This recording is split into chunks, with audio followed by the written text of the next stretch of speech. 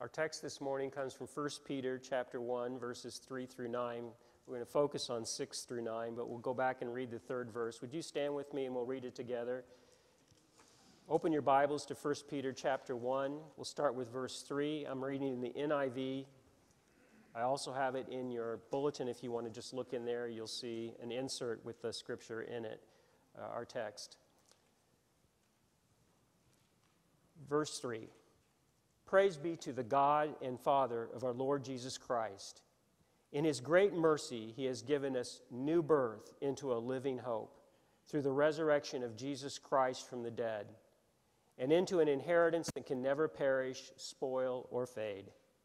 This inheritance is kept in heaven for you, who through faith are shielded by God's power until the coming of the salvation that is ready to be revealed in the last time. Verse 6 In all this you greatly rejoice, though now for a little while you may have had to suffer grief in all kinds of trials. These have come so that the proven genuineness of your faith, of greater worth than gold, which perishes even though refined by fire, may result in praise, glory, and honor when Jesus Christ is revealed. Though you have not seen him, you love him. And even though you do not see him now, you believe in him and are filled with an inexpressible and glorious joy for you are receiving the end result of your faith, the salvation of your souls. God bless the reading of His word. You may be seated. Greatly rejoicing in all kinds of trials is the title of the sermon. It comes straight from the scripture that we just read. And I got to thinking about this all kinds of trials, all kinds of trials. And, and what, what, what does that mean? Well, it means just what it says there's all kinds of them. There's lots of them. And trials of life are common for everybody in this broken world. There's no exceptions. I mean, I don't care if you're saved or not saved when it comes to trials, you're going to have them. Everybody is. Everybody's going to suffer. Everybody's going to have to struggle. And of course, as a Christian, I firmly believe if you're going to struggle, hey, I want God in that picture. I don't know how people go through the trials of life with no, no one to pray to, no one to trust in. And then another kind of trial is the trials that I believe Peter was primarily speaking of here, and that's the trials that come as we obey God, as we follow Christ. And there's only a few of us that have those trials. It's like you want to add more trials to the trials you're going to have anyway? Well, yeah. But you know what? Didn't seem to be a huge problem for the early church in the first two centuries. And uh, you got to keep in mind that the first two centuries after Christ, Christianity was an illegal religion.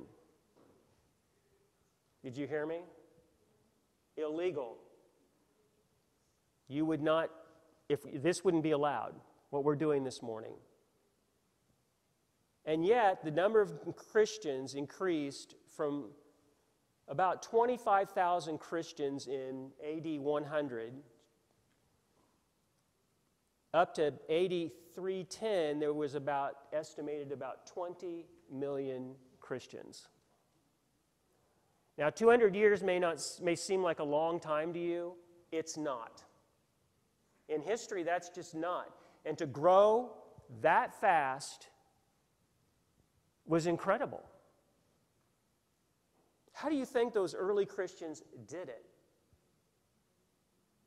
At best, they were tolerated. At the very worst, they were severely persecuted. Think about it. Confessing Christ before your family and neighbors could not be done lightly because the consequences were real. It wasn't going to be a flippant decision. You see, they refused to worship the Roman gods and the emperor, and that was a challenge to the status quo of traditional religion and the social order of their day. In fact, the very term that you and I use and don't even think about it half the time, we say Jesus is Lord. that was seditious for the early Christians. That was treasonous. Because who was Lord? Well, Caesar was Lord. And for you to say that Jesus is Lord was a direct and a direct affront to the emperor. And that's going to get you in trouble.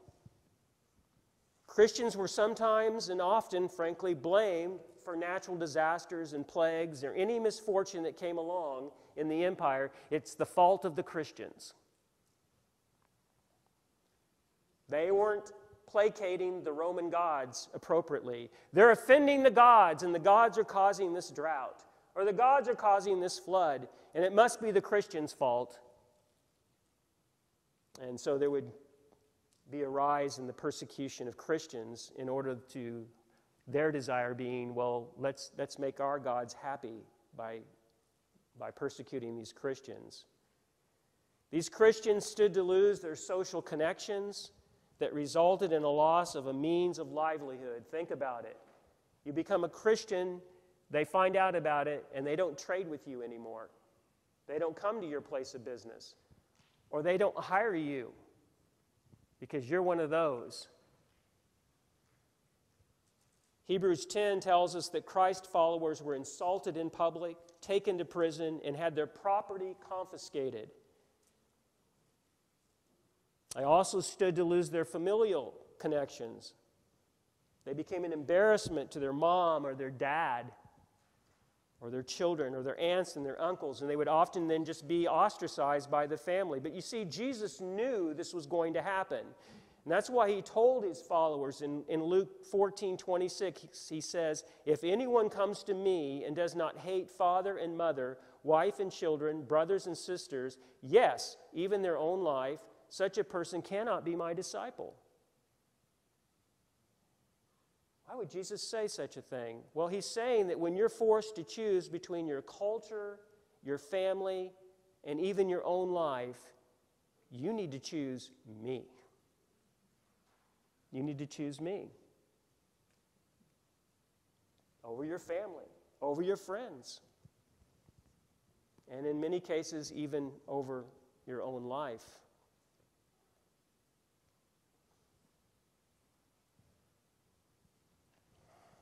This isn't in the sermon, I just thought of it. I honestly believe that I probably lived for two to three decades. And I don't recall hearing a sermon like this. And I remember one day, it's starting to dawn on me what the Bible actually said. And sad that preachers won't preach this. Well, I'm going to. And I'm going to tell you why I'm going to. Because when it finally dawned on me what the truth was about, for following Christ, what it meant to follow Christ, it changed my life for the better, not the worse. Brothers, sisters, what I'm preaching this morning is the truth and it's good news. You need to know it. You need to know this. Because, see, as hard as those facts were that I just talked about, those early Christians in the first two centuries, it was a major reason why the church grew as it did. And it's a major reason why the church in America isn't growing, is because people can go for 30 years and never hear a sermon about how you got to lay your life down.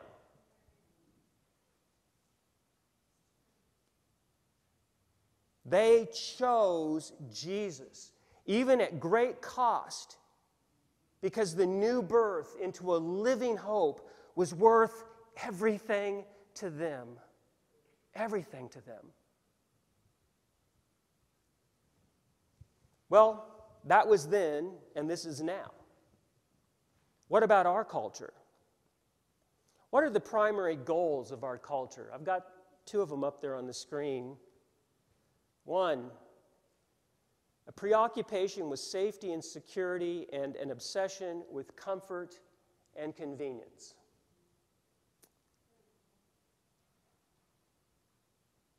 And the primary God of our culture is consumerism, materialism, money. Because the culture believes that things will provide safety, security, comfort, and convenience. And that is all that matters. Now, I want to be safe. I want to be secure. I don't mind comfort. I'm glad I had air conditioning in my house this last week. I don't mind some convenience. Yes, I've, I like microwaves. It, I, I like a stove, it beats the fireplace. You know, there's things, I mean, I'm, right? But what happens when those become the motivation of our life? The, here's the question Is our religion only viable if it provides safety, security, comfort, and convenience? Look at the question up there on the screen on the top. Please look at that. And please think about that.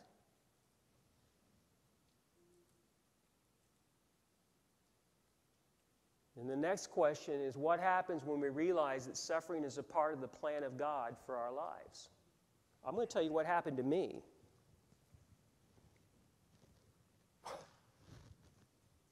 I didn't like it. I started to go beyond what I'd been taught and preached, heard all these years, and began to read this and began, what, what, what's this really saying here? What does it mean? And then God began to speak to me and said, When's the last time you did something that you didn't do just because you really wanted to anyway?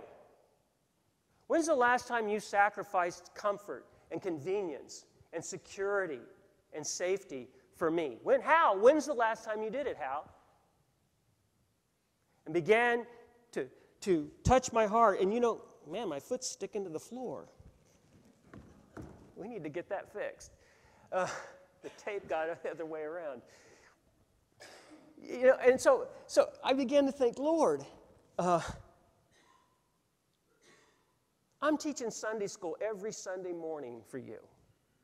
And I did that for a long time. I, am on the church board. I'm the church treasurer. I fill in and preach for the pastor when he's gone from time to time. I, I, I, I do these things.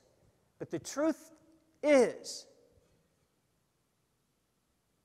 all of that was still within my comfort zone. I was comfortable doing it. And then one day, I decided to go to the altar.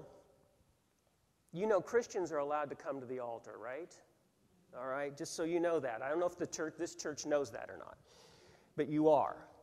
And you can come to the altar and you can, you can lay your heart out before the Lord. And, the, and I, because I began to realize that there was something more God wanted me to do. but I didn't want to do it.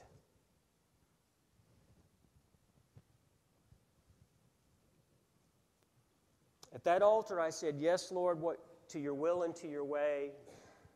Uh, I can, I can, you know, I can have all the trappings of being a, a Christian. I can do, but, but, but the bottom line is, am I doing what you want me to do? Or is it just what's safe and secure and convenient and comfortable for me? And he says, No, you're going to step outside your comfort zone. You're going to, you're going to be doing some stuff. And it was hard. And he's asked me since then to do some things that have been really, really hard for me to do. And I'm not up here to, to get your sympathy because I'm going to tell you something. I've never been happier in my life. I've never been more fulfilled in my life than I am now. I am thankful I'm standing here because this is where God wants me to be, whether I'm comfortable doing it or not. And I keep reminding God that I, I don't have a pastor's heart. And He keeps reminding me that He knows that and that He will help me to have a pastor's heart. And I see the Lord doing that in my life.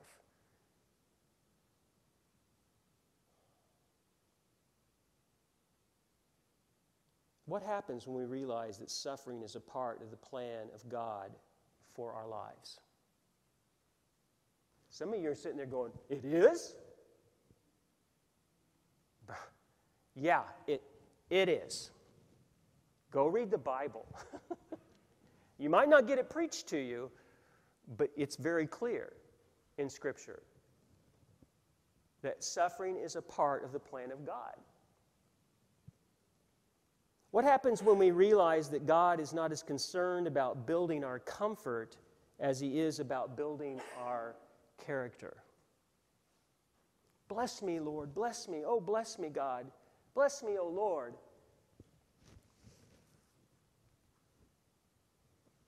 Uh, God's thinking, you know, I'd like to bless you. If you're going to bless others with the blessing that I bless you, but you won't, so I won't. But when we say, Lord, bless me that I might be a blessing, which means something that might not be secure and safe and comfortable and convenient, and God says, Yeah, I give you that blessing. I'll give you that anointing. I'll give you the Holy Spirit to do that because you become a blessing then to others. If we think about this fact that if safety, security, comfort, and convenience were the primary motivators of the first and second century Christians, do you think it would have gone from 20 some thousand, 25,000 Christians to 20 million in, two, in 200 years? No way. No way. No way. I've said it before from the pulpit here, I'll say it again. We prayed for the Lord to bless our country, our nation, to bring revival. Did, you, did it ever occur to you that some suffering might have to be entailed in making that happen? Think about it. for the church to get to where it really needs to be, that just might need to be the case. We'll leave that to the Lord. See what happens. He is sovereign. Let's go back to 1 Peter and let's see what the Holy Spirit will teach us. Let's go back to the third verse. And this is what we this is what I talked about last Sunday. So I'll spend very little time on this, but I, I think it's important that we read it again. Praise be to the God and Father of our Lord Jesus Christ. In his great mercy, he has given us new birth into a living hope through the resurrection of Jesus Christ from the dead, and into an inheritance that can never perish, spoil, or fade. This inheritance is kept in heaven for you, who through faith are shielded by God's power until the coming of the salvation that is ready to be revealed at the last time. Yes, God's given us a new birth, and this changes everything. We are a new creation. We have a living hope, an incorruptible inheritance, and a prepared salvation waiting securely in heaven for us. Then we go to verse 6. In all this. Now, what's the all this?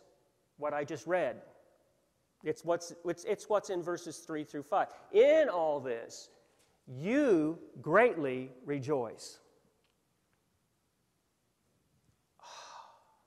new birth, living hope, a new creation, an in- incorruptible inheritance, a prepared salvation waiting on me in heaven. I greatly rejoice in that. Though now, for a little while, by the way, what's a little while? How about your lifetime? Though now, for a little while, because your lifetime is a little while, right? For a little while, you may have had to suffer grief in all kinds of trials. Do you know that the book of 1 Peter is only five short chapters, and the topic of suffering is mentioned 17 times? He was writing to a church that was suffering.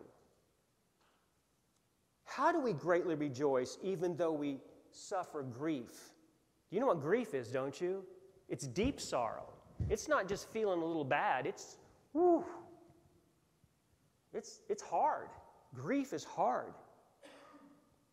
And, we greatly rejoice, even though we suffer grief, not in one or two, but in all kinds of trials. It's a paradox, isn't it? Isn't that what the kingdom of God always is? It's always just turns things upside down. Well, I think will help, what will help us understand it is one of the most important passages, I believe, in the New Testament. Paul writes it in Philippians 3 7 through 8, and then I'll, and the 10th, 10th verse, and it says this Whatever were gains to me, I now consider loss for the sake of Christ. What is more, I consider everything a loss because of the surpassing worth of knowing Christ Jesus, my Lord, for whose sake I have lost all things. I consider them garbage that I may gain Christ. I want to know Christ. Yes, to know the power of his resurrection and participation in his sufferings, becoming like Christ in his death. This is, are we okay here? Can you guys hear me okay? So I'm getting, whew, something's coming. Maybe the monitors are up a little high, I don't know. Why were Paul and the other early Christians willing to be subjected to such suffering? The answer Paul gives us they wanted to know Christ, gain Christ, and become like Christ. Number one. What's your priority? Oh, to gain Christ.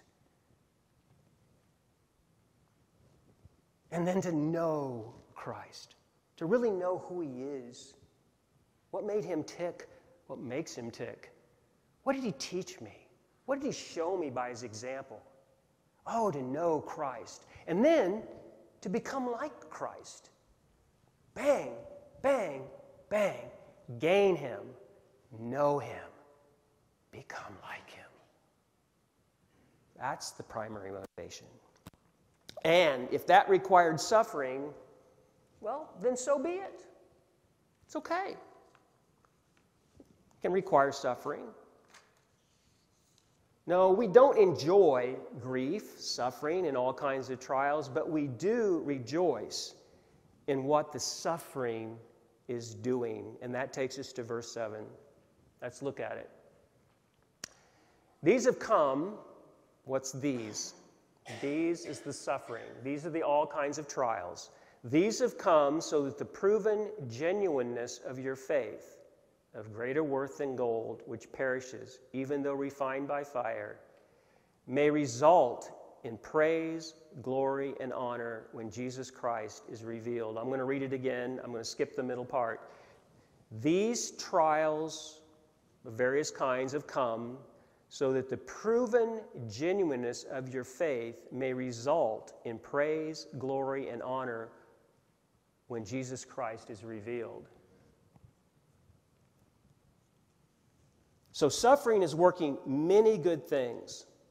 And when I was writing this sermon, I began to make a list of the good things that suffering brings us. And the fact of the matter is, I, when I got to 10, I realized this has got to stop, or we will be here till 1 o'clock. So I, I just said, no, let's, let's, let's focus in, because there's so many things that I don't have time to talk about. Let's go with the first one that he has here in this passage proving the genuineness of our faith. Is your faith real or phony? Is it genuine or is it a fake? How do you know? How do you know? You know by what happens when you go through trials and struggles and difficulties. Do you remember when we talked that Jesus told the parable of the sower and the seed? That one of those seeds fell on the ground and, and it, it fell in a rocky place and it sprang up real fast, but because it had no depth of soil, when the, as soon as the sun came out, what happened? It died, right? And Jesus says, That's the person. Oh, I love you, Jesus. Bless me, bless me, bless me. Then hard times come, they're gone. Why? Their faith wasn't genuine. The trials showed it. So, the genuineness of our faith really helps me helps me to realize these trials that my faith is genuine. Oh, Hal, you'll serve me until you actually obey me and, and go into the, into the ministry full time. So I'm thinking that. No, Lord, I'll serve you. I'll do that too. You, you mean take, a, take on that? Yeah, I'll do it, Lord. I'll do it. I finally, yes, I'll say yes. I finally say yes. Let's do that, Lord. And it proves the genuineness to me of my faith. Don't you think it's important that you know that your faith is genuine? Trials will show you that. And then you can sit back and go, Lord, thank you. I am a follower of Christ.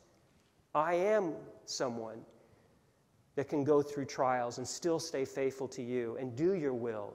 And it also shows that the genuineness of our faith, and this is so important, to others. Trials and, and, and, difficulties are a great opportunity to show others Christ in us, and we show them by the way we respond to our own sufferings, as well as how we respond to the sufferings of others. Because, because they, they look at us and go, you know, you, you handle that well. Doesn't mean we don't cry and we don't hurt. Of course we do. But the world looks on and they're looking for someone that, you know, because we all have trials. They do too. And it's like, boy, you handle it well, though. And then how we respond to other people's sufferings. And how we respond to other people's suffering is we actually care when we see other people suffering. We have empathy and we have compassion for them. Without trials, without tribulation, how would we how can we show that? So what do these do? They show the genuineness of our faith. They give us an opportunity to show others Christ in us. And then the second thing, and I think so important, is it helps us to partake in the very life of Christ, to gain Him, to know Him, and to become like Him. You cannot become like Him if you're going to run from suffering. That's how we partake in the life of Christ. Because remember the verse we saw that Paul wrote in Philippians? He says, he says, allowing us to experience the power of his resurrection the power of his resurrection and participate in his sufferings. I can't ignore that last part. Participate in his sufferings. Verse 8 Though you have not seen him, you love him. And even though you do not see him now, you believe, well, that believe right there means trust. You believe, you trust in Him, and you are filled with an inexpressible and glorious joy.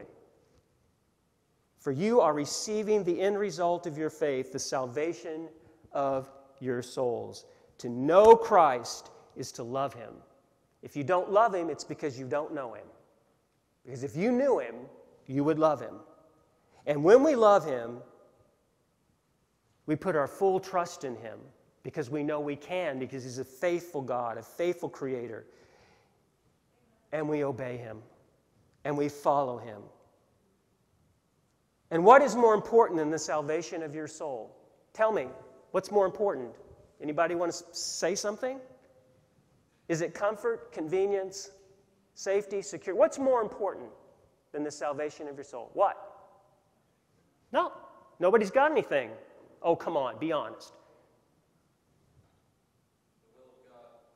No, the, the will of God is for your soul to be saved.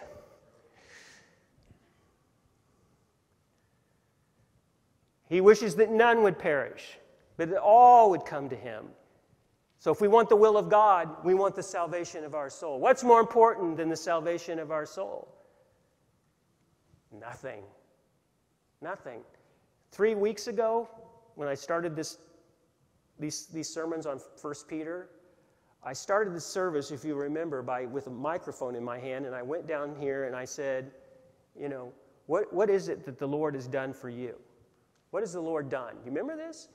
And the first person was Charla Murray. She sat right there on the front row. And what was her answer? He saved my soul.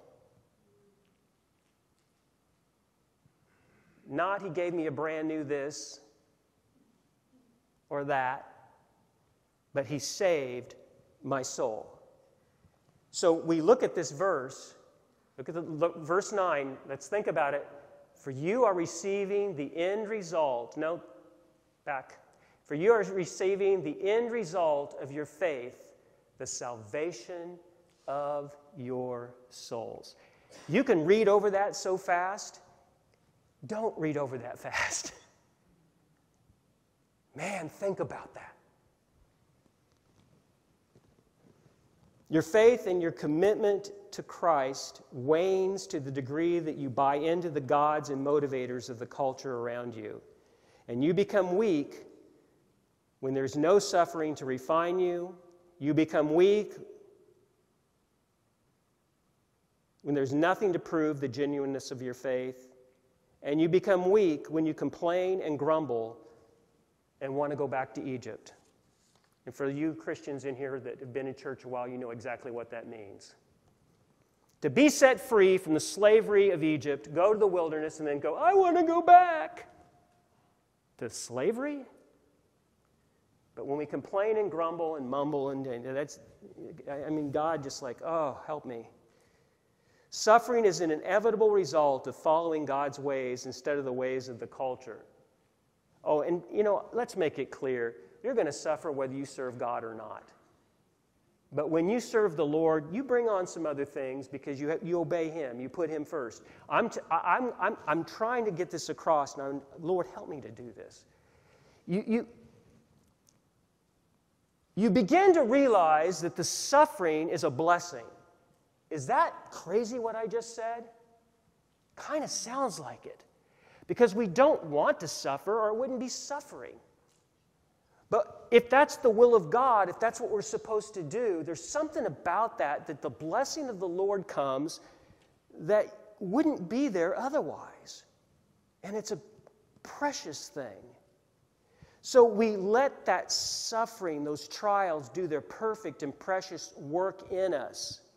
And we always keep a view of eternity ever before us.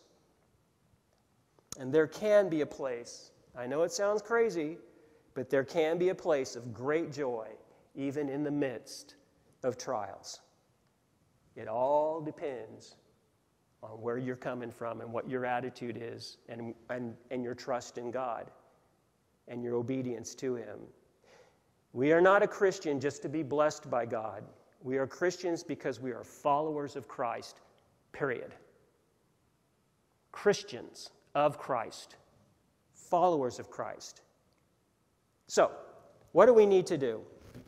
Let's go to the there you go now. So here's a verse. It's also in 1 Peter, but it's all the way at the end of the fourth chapter. And I had to recite it this morning together. It says, So then those who suffer according to God's will should commit themselves to their faithful Creator and continue to do good. Wow.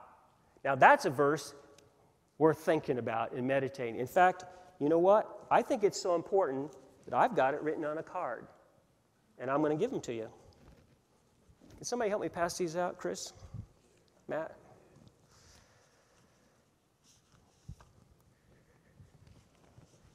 Ray, can you pass these out?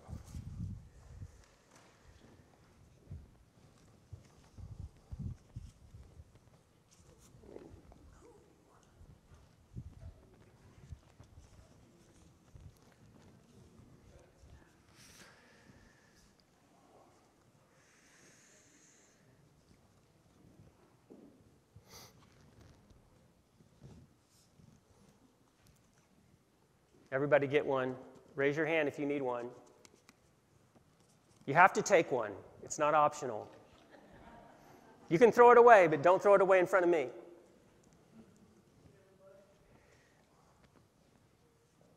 Thank you, Matt. If nothing else, it gets us to wake up a little bit. So it says, Those who suffer according to God's will should commit themselves.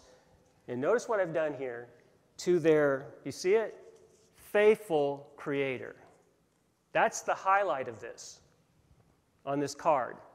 So that when you glance at that card, the first thing your eyes go to are those two words, faithful and creator.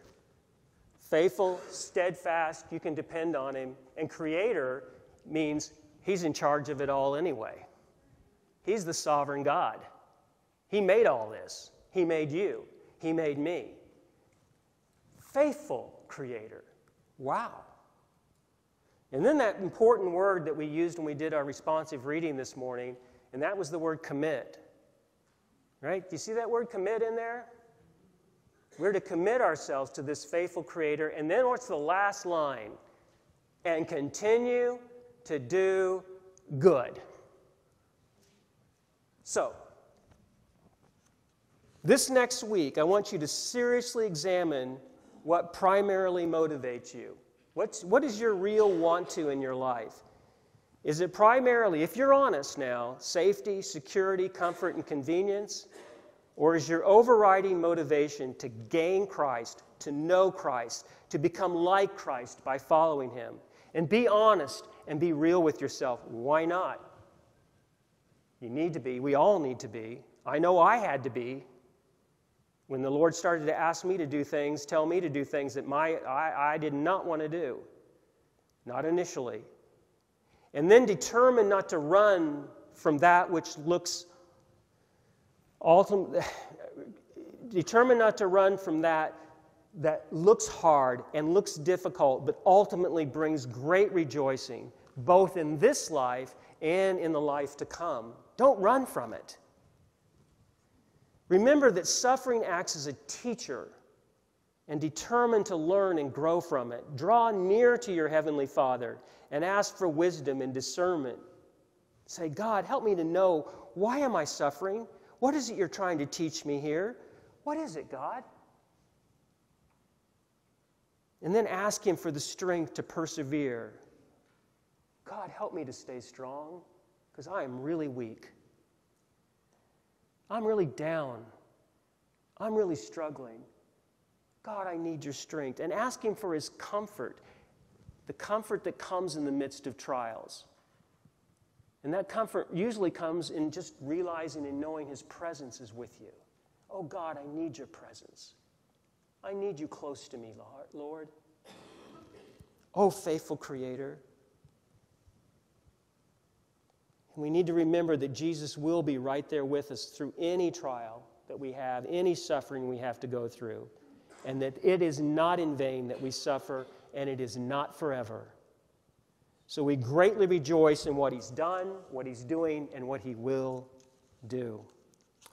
Amen. Just like the early Christians who saw faith in Jesus spread across the entire empire in just 200 years, we will see him work in and through us when our one motivation is to gain him, to know him, and to become like him. And that means that we participate in the fellowship of his sufferings, and we learn what it means to be joyful in that. It means that I'm willing to step out and do things that aren't comfortable sometimes.